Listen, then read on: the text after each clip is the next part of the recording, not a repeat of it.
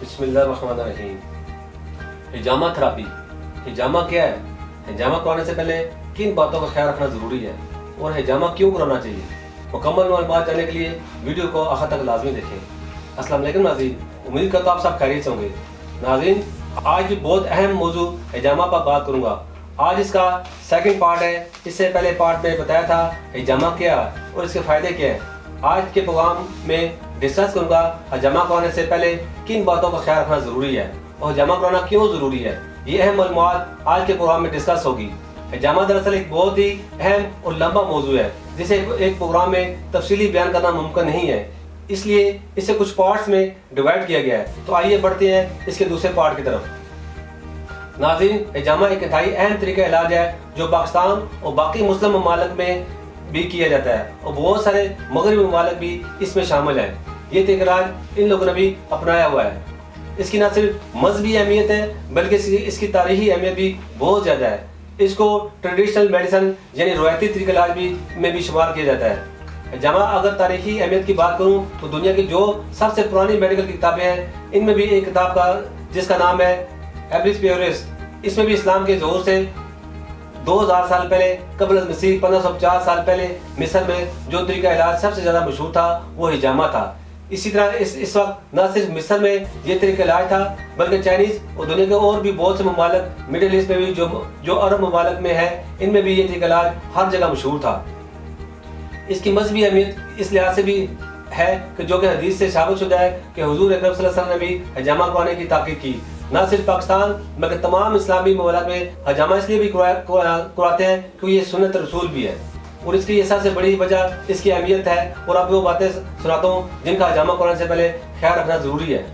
हजामा एक मुकम्मल, महफूज तरीका इलाज है, लेकिन जो शख्स हजामा करवा रहा है, अगर वो ठीक से ना करवाए या अपने माहौल पर ध्यान ना दे कुछ बातों को इग्नोर करे तो हजामा करे, इससे बहुत सी कॉम्प्लिकेशन भी पैदा हो सकती है।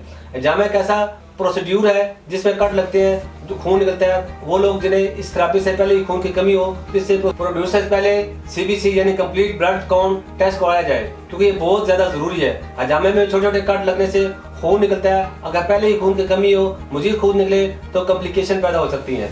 इसके अलावा वो लोग, जिनको खून पतला होने की बीमारी है, या खून बहुत ज़्यादा गाढ़ा है, और खून के लिए कोई कोई भी, कोई से भी मेडिसिन इस्तेमाल कर रहे हैं तो ऐसे लोगों के लिए हजामा से पहले कुछ टेस्ट करवाए जाए, जिनको I N R international normalise ratio APTT activated partial PT thromboplastin clotting time bleeding time clotting time कहते हैं। ये टेस्ट बहुत ज़्यादा ज़रूरी है।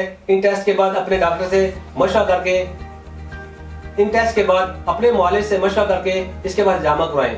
मालिश से मशा भी इसलिए ज़रूरी है कि कितने टाइम तक मेडिसिन रुकी जा सकती है, हजामा कराया जा सके। क्योंकि अगर पहले ही खून में मसला है तो खून पतला है और कपिंग थेरापी यानी हजामा के बाद खून ना रुके तो ज़्यादा मसला हो सकता है। इसलिए ऐसे लोगों के लिए दर्द जिसमें हर वक्त मुख्तु जगह पर दर्द कराना हर वक्त सुस्ती, सोने के बाद भी थकावट का न उतरना, sugar blood sugar depression anxiety cholesterol का हजामा कराया जा सके। क्योंकि अगर पहले ही खून में मसला है तो खून पतला है और कपिंग थेरापी यानी हजामा के बाद खून न रुके तो ज़्यादा मसला हो सकता है। इसलिए ऐसे लोगों के लिए हजामा नहीं किया जाता। इसकी अगर मजीद कम्प्लिकेशन की बात करूँ तो हजामा खुद एक मुकम्मल सेफ़ प्रोसीड्यूर है।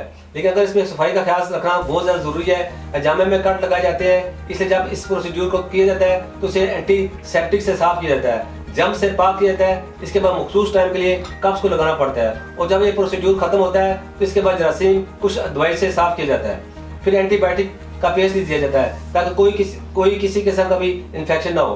अब फ़र्स्ट करें आपके किसी जमा सेंटर पर गए हैं, वहाँ पर सफ़ाई का खास नहीं रखा जा रहा तो वहाँ से जख्म पर जरासीम लग सकते हैं। इन्फेक्शन जिसम में फैल सकता है, इससे हेपेटाइटिस बी हेपेटाइटिस सी और एड जैसी बीमारी लग सकती हैं। और जिसम को यहाँ बीमारियाँ खून से लगती हैं, इसलिए आप हजामा जहाँ से भी कराएँ, इन तमाम बातों को लाजमी जहन में रखें कि आपके जिसम पर कोई भी चीज़ इस्तेमाल हो रही है, वो पैकेट में होनी चाहिए।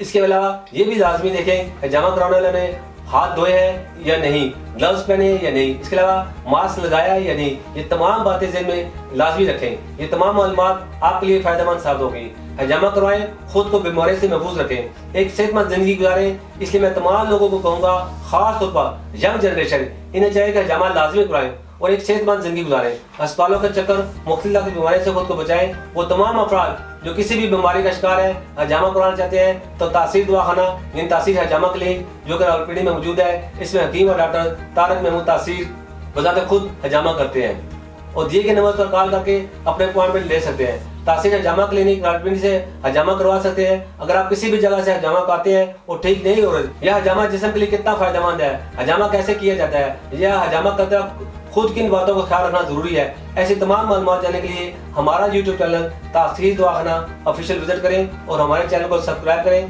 बेल आइकन को भी लाजमी प्रेस करें ताकि हजामा के मतलब आने वाली हर वीडियो बसानी आपको मिल सके। मजीद मालूम और रहनमाई के लिए स्क्रीन पर दिए गए नंबर पर रब्ता करें। तासीर दवाना एंड तासीर हजामा क्लिनिक आकर भी मालूम हासिल की, की जा सकती है।